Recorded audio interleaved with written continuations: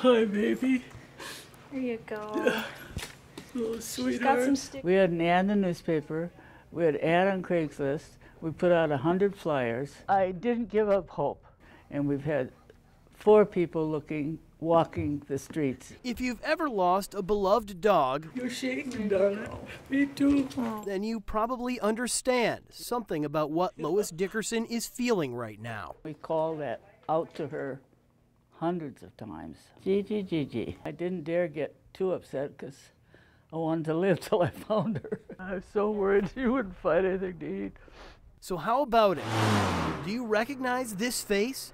These eyes? Those ears? Well, someone does. Scratch that. Something does. And it's not a dog license or a microchip. Finding Rover is a facial recognition application. You heard her right. Facial recognition for dogs. And if you're wondering exactly what it means when we talk about a dog's face, here's how it works. Grab that circle and put it over that eye. The application records the geometry of a dog's features, ratios of distances between the dog's eyes and muzzle. When a lost dog comes into the pound, it compares the numbers with the numbers from a photo you've uploaded. Instead of people looking for their dogs, Yeah, got the knot in the stomach. this is computers looking at dogs and telling people who they might belong to. All you need is the right picture. You know, I've taken lots and lots of pictures of these dogs. The only thing I take pictures of flowers and dogs.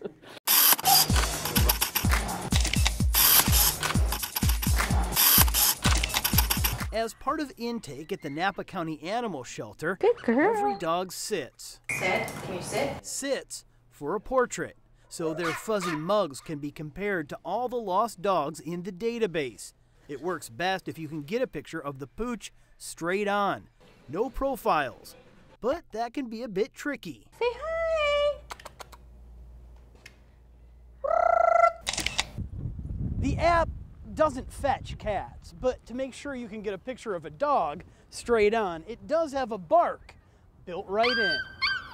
There's no charge to use the app. All it will cost you is a little time, and you'll have to enter a few personal details when you register. And you can type in something about the dog. The Napa County Animal Shelter is the first in Northern California to use Finding Rover, but anyone can, and the more users, the better it works. I'm gonna post it onto Finding Rover. Well, this little boy, my son found him roaming the streets in Napa, and so far no one's claimed him. And also Finding Rover, I put him on Finding Rover. I have that app for my dogs. I have them all registered on Finding Ro- Rover. It's not meant to replace a microchip.